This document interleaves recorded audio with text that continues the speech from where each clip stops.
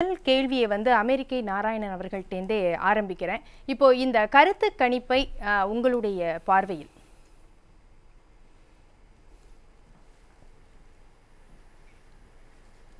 அதாவதுங்க கருத்து கணிப்புன்றது இன்றைக்கு யார் கருத்து கணிப்பை செய்கிறார்கள் அவர்களுடைய பின்னணி என்ன என்பதையெல்லாம் பார்க்க வேண்டியிருக்கு. இப்போ கடந்த காலங்களில் பல நடுநிலை கருத்து கணிப்புகள் கூட உண்மையாகாமல் இருந்தது என்பதை வரலாறு சொல்கிறது. கருத்து கணிப்பை கேட்கின்றவர்கள் பலர் அவர்கள் எந்த விதமான கேள்வி கேட்குறாங்க அப்படின்றது முக்கியம். There are leading questions they can ask எங்கே சாம்பிளிங் எடுக்கிறாங்க இதெல்லாம். கருத்து கணிப்பு வந்து இது ஒரு ப்ராப்பகண்டா இன்றைக்கு வந்து ஒவ்வொரு பார்ட்டியும் தன்னுடைய அதுவும் ஆளுங்கட்சியாக இருக்கவங்களுக்கு அதிக பணபலமும் அதிகார பலமும் ஆட்சி பலமும் இருக்கிறதால எந்த இதை வச்சுக்கிட்டு பண்ணுறாங்க அவங்ககிட்ட பணம் இருக்குது. அதனால் ஒரு மாயை கருத்து கணிப்பு மூலமாக இன்றைய காலகட்டத்தில் உருவாகி கொண்டிருக்கிறார்கள் என்பது உண்மை. கடந்த காலத்தில் இதை பார்த்தோம்.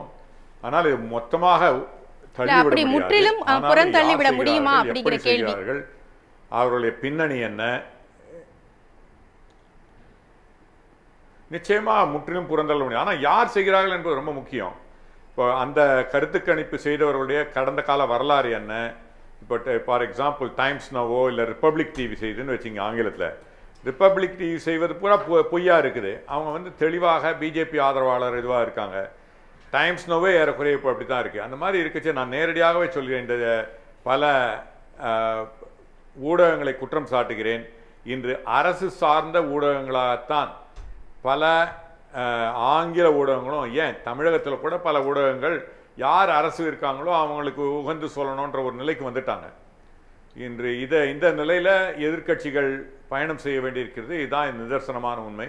அதனால் கருத்து கணிப்புகளை முற்றிலும் எடுத்துக்கொள்ள வேண்டிய அவசியம் இல்லை என்பதே என்னுடைய பார்வை. இல்ல கருத்து கணிப்பை தாண்டி இப்போ உங்களுடைய பார்வையில இந்த ஐந்து மாநிலங்கள்ல காங்கிரஸுடைய வியூகங்கள் எப்படி இருக்கு? எந்தெந்த இடத்துல எல்லாம் இப்ப கருத்து கணிப்பு நீங்க சொல்றது உங்களுக்கு அதுல வந்து ஒப்புதல் இல்லை அப்படின்னாலும் அந்த கருத்துக்கள் இப்ப பாஜக உத்தரப்பிரதேசத்தில் உத்தரப்பிரதேசத்துல வெற்றி பெறுவதற்கு வாய்ப்புகள் இருக்கு அப்படின்னா அங்க இல்ல காங்கிரஸுடைய நிலைப்பாடு எப்படி இருக்கு? அவங்க எடுக்கக்கூடிய நீங்க எடுக்கக்கூடிய முயற்சிகள் என்னவா இருக்கு? அடுத்து உங்களுடைய வியூகங்கள் எப்படி இருக்கு? இதை பற்றி உங்களுடைய கருத்து.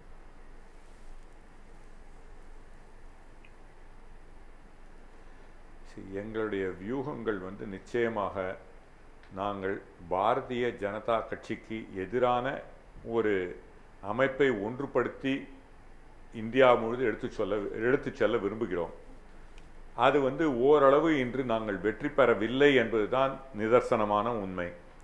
உத்தரப்பிரதேசத்திலே எங்களுடைய இளம் தலைவர் தலைவி பிரியங்கா காந்தி முன்னணியில் நின்று இந்த களத்தை சந்திக்கிறார். அதில் தெளிவாக நாங்கள் வந்து இவர் இன்னைக்கு இவர் சொல்லியிருக்காரு சிஎம் உத்தரப்பிரதேச முதலமைச்சர் சொல்லிருக்காரு ஆதித்யநாத் இது மெஜாரிட்டிக்கும் மைனாரிட்டிக்கும் இருக்கிற போட்டின்ற மாதிரி எண்பது சதவீதத்திற்கும் இருபது சதவீதத்திற்கும் உள்ள போட்டி என்று சொல்கிறார்.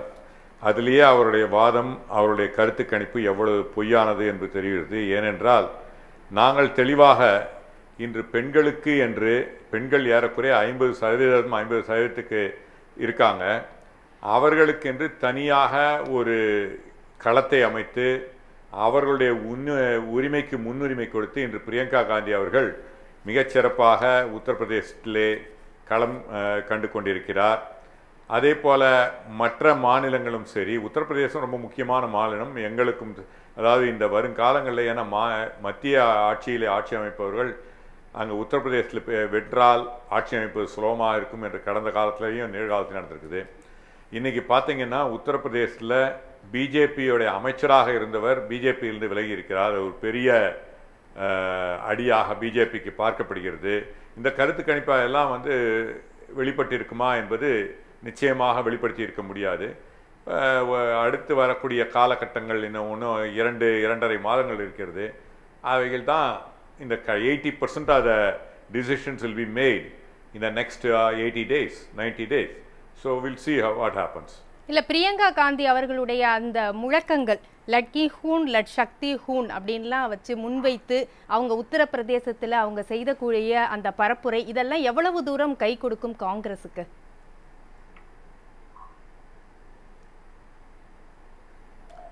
நிச்சயமாக பெரிய அளவில் கை கொடு கை கொடுக்கும் என்று நாங்கள் நம்புகிறோம் முயற்சி செய்து கொண்டிருக்கிறோம். காலம் பதில் சொல்லும். சரி. அமெரிக்க அமெரிக்கை நாராயணன் அவர்களிடம் செல்லலாம். சார் இப்போ கேக்குதா சார்? இப்போ பாஜக எடுக்கக்கூடிய அந்த முடிவுகள் மேலிடம் எடுக்கக்கூடிய முடிவுகள் அப்படிங்கிறது வந்து ஒரு உறுதியானதாக இருக்கிறது. கட்சி வந்து ஒரு கட்டுக்கோப்புடன் இருக்கிறது அப்படிங்கிறது பரவலா சொல்லக்கூடிய ஒரு விஷயம். ஆனா காங்கிரஸ்ல இந்த குழப்பங்கள் உட்கட்சி அந்த குழப்பங்கள் இருக்கட்டும் ஒரு மாநிலத்தில் இப்ப பஞ்சாப்ல இருக்க அம்ரீந்தர் சிங்கா இருக்கட்டும் சித்துவா இருக்கட்டும் மாறி மாறி அந்த பேசுறது இதுவே அந்த காங்கிரஸுக்கான வெற்றி வாய்ப்புகளை நழுவ விடக்கூடிய ஒரு காரணமா இருக்கா?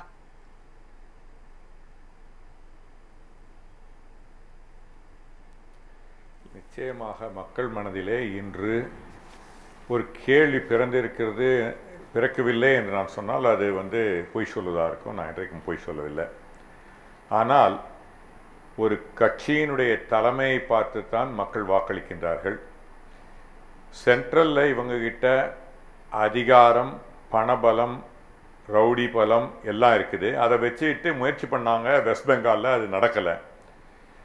You can not fool all the people all the time அதனால் மக்கள் வந்து ஏற்கனவே திரு ராமகிருஷ்ணன் சொன்ன மாதிரி இங்கே இதில் சர்வேலையும் சொல்லியிருக்காங்க அன்எம்ப்ளாய்மெண்ட்டை பற்றி பேச ரொம்ப பெரிய கேள்விக்குறியாக இருக்குதுன்னு பார்க்குறாங்க இன்று பார்த்தால் எதிர்க்கட்சிகள் ஒன்று சேர்ந்து இன்று அராஜக பலத்துடன் இருக்கின்ற பிஜேபியும் பணபலத்தோடு இருக்கின்ற பிஜேபியை சந்தித்தால் நிச்சயமாக பிஜேபி வெற்றி பெற முடியாது.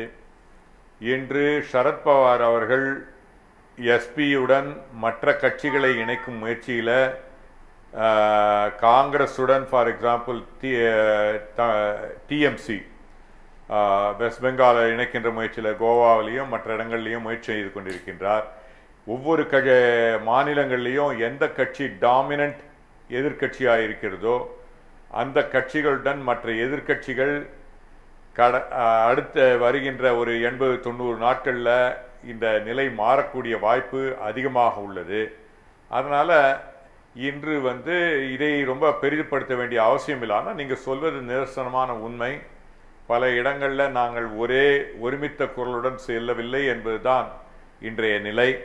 அது ஆளுங்கட்சியோட மிருக பலம் இருக்கிறதால அவங்க பணபலத்தால் பா பா- கடந்த தேர்தலில் பார்த்தீங்கன்னா அதிக அளவு எம்எல்ஏக்களை பெற்றது கோவாவில் நாங்கள் தான் ஆனால் தன்னுடைய பணபலத்தால் தான் எம்எல்ஏக்களை மக்களுக்கு ஓட்டளித்ததற்கு எதிராக வாங்கி கோவாவிலே கடந்த ஐந்து வருடமாக கவர்னருடைய உதவியுடன் கான்ஸ்டிடியூஷனல் அத்தாரிட்டி தன்னுடைய அதிகாரத்தை தவறாக உபயோகப்படுத்தியதன் மூலம் இன்று க- ஐந்து ஆண்டுகள் கோவாவில் பிஜேபி ஆட்சி நடந்தது.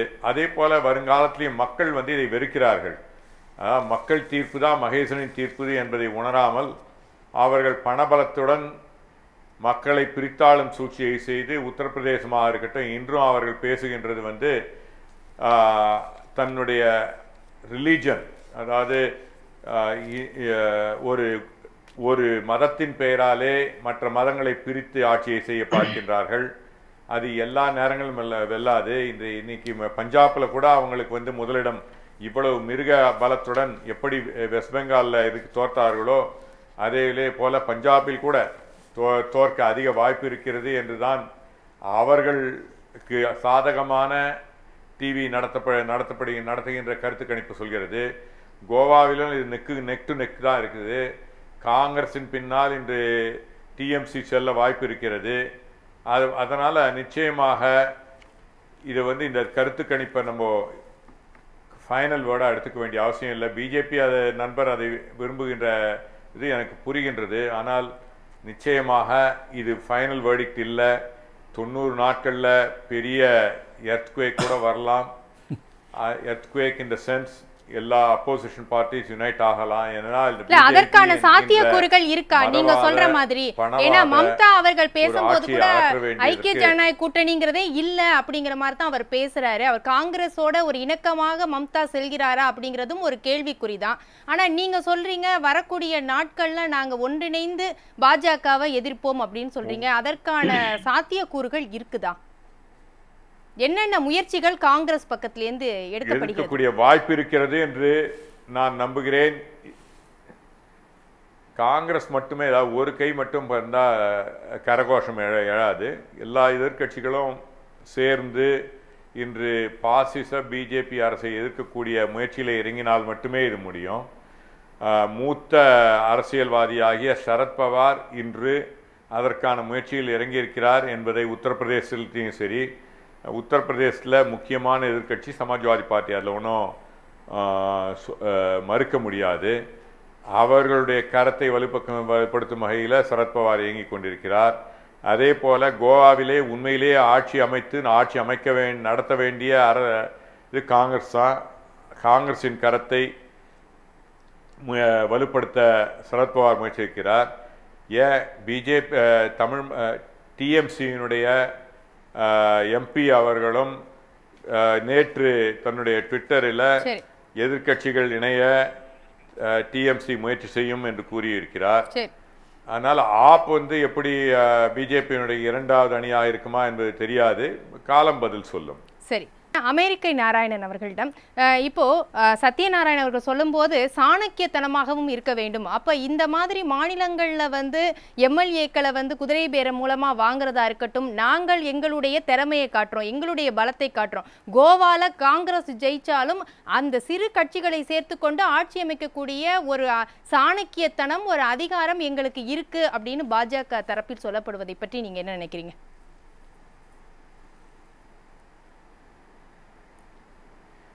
அரசியல் எவ்வளவு தரம் தாழ்ந்து விட்டது இந்த பிஜேபி ஆட்சிக்கு வந்த பரம்ன்றத பார்க்குறோம். ஒரு நாட்டில் மக்களால் தேர்ந்தெடுக்கப்பட்ட பிரதிநிதிகளை நேரடியாக பணம் கொடுத்து வாங்கி அதற்கு பிறகு ஆட்சி அமைத்தது மட்டுமில்லாமல் அதுதான் சரி என்று வாதாடுகின்ற ஒரு ஜனநாயகத்திலே நாம் வாழ்கின்றோமே என்று நான் வெட்கி தலை குனிகிறேன். இதை வந்து நியாயப்படுத்துவது நான் அடுத்த ஒரு எலெக்ஷனே வேண்டான்ற சொன்னால் கூட அதை நியாயப்படுத்துவார்னு நினைக்கிறேன் அவர். இந்த நாட்டில் ஜனநாயகம் எந்த மட்டும் வளரணும் ஒரு சில காலங்களில் தப்பு நடந்தால் மாற்றத்திற்காகத்தான் மக்கள் மாற்றத்தை கொண்டு வரார்கள். ஆனால் அதை விட நான் இந்த ஜனநாயகத்தை அடுத்த தேர்தல் ஒரு இதில் வந்து எங்களுடைய கட்சியின் மு- நண்பர் திரு பீட்டர் அல்ஃபோன்ஸ் சொன்னார் எப்படி வந்து ஒரு கோயபல்ஸ் என்னெல்லாம் சொல்லி ஆட்சி அமைத்தார்கள் என்று அந்த நாசி ஜெர்மனியில் படித்தார் யாரெல்லாம் வந்து ஒரு அரசுக்கு எதிராக பேரா- பேசுகிறார்களோ அவர்களை ஆன்டி நேஷனல் என்று சொன்னாங்க. இதையெல்லாம் வந்து மிக தெளிவாக செய்கின்ற இந்த அரசு ஜனநாயகத்தின் மீது நம்பிக்கையை எழுந்து நம்ம வந்து ஒரு சர்வாதிகார ஆட்சிக்கு வழிகோலுகிறோமோ என்ற எண்ணம் எனக்கு ஏற்படுகிறது. இதை நியாயப்படுத்த வேணாம். தயவு செய்து நியாயப்படுத்த வேணாம். ஒன்றும் கேட்டால் நான் உண்மையிலே இந்நேரத்தில் இவந்தோ இதை வந்து தமிழக தேர்தல் மட்டும் இல்லாமல் கூட பல பேர் வந்து தமிழக முதல்வர் ஸ்டாலின் அவர்களை குறை சொன்னாங்க. என்னன்னா இவங்க ஜெயலலிதா அவர்கள் இறந்த பிறகு இங்குள்ள எம்எல்ஏக்களை வாங்கி செய்யலான்னு அவர் வெயிட் பண்ணி தெளிவாக மக்கள் மனதிலே எங்கள் ஆதரவோட காங்கிரஸின் ஆதரவோடு இங்கே ஒரு சிறந்த வெற்றி பெற்று அவருடைய தலைமையில் வெற்றி பெற்று ஒரு நல்லாட்சி செய்து வருகிறார். அதுதான் ஜனநாயகம். எதை வேணாலும் செய்வேன் என்று சொல்வது வெட்கப்பட வேண்டும் வேதனைப்பட வேண்டும் அவமானப்பட வேண்டும். இதை இதை நியாயப்படுத்து சாணக்கியத்தனம் நியாய என்று நியாயப்படுத்துவதை விட ஒரு அசிங்கம் ஒரு ஜனநாயகத்தில் இருக்க முடியாது என்பதை நான் தெளிவாக இன்று சொல்ல விரும்புகிறேன். கோவாவில் மட்டும் இல்லை கர்நாடகாலையும் அதை செஞ்சிட்டு இருக்காங்க செஞ்சாங்க. இன்று வந்து அதெல்லாம் தவறான முன்னுதாரணம். தயவு செய்து இவரை போன்ற நண்பர்கள் படித்தவர்கள் மெத்தப்படித்தவர்கள் இதை வந்து நியாயப்படுத்த வேண்டாம். அட்லீஸ்ட் தவற தவறுன்னு ஒத்துக்கொள்ளக்கூடிய ஒரு நல்ல மனப்பான்மையை கொண்டு வர வேண்டும். அப்பொழுதுதான் உங்களுக்கு அந்த டிவிக்கு பங்கு உண்டு. டிவியில் பங்கு பெறுகின்ற பங்கு பெறுகிறவர்களுக்கும் இதில் ஒரு முக்கிய பங்கு உண்டு என்பதை நான் தெளிவுபடுத்த விரும்புகிறேன். ஆ, சார் இப்போ லக்கிம்பூர் விஷயமாக விஷயமா இருக்கட்டும். அந்த பெகாசஸுக்காக நாடாளுமன்றத்தில் ஒரு குரல் எழுப்பிய காங்கிரஸ் அதனுடைய கூட்டணி கட்சிகளாக இருக்கட்டும். இந்த விஷயங்கள் எல்லாம் எவ்வளவு தூரம் எதிரொலிக்கும் இந்த தேர்தலில் நினைக்கிறீங்க?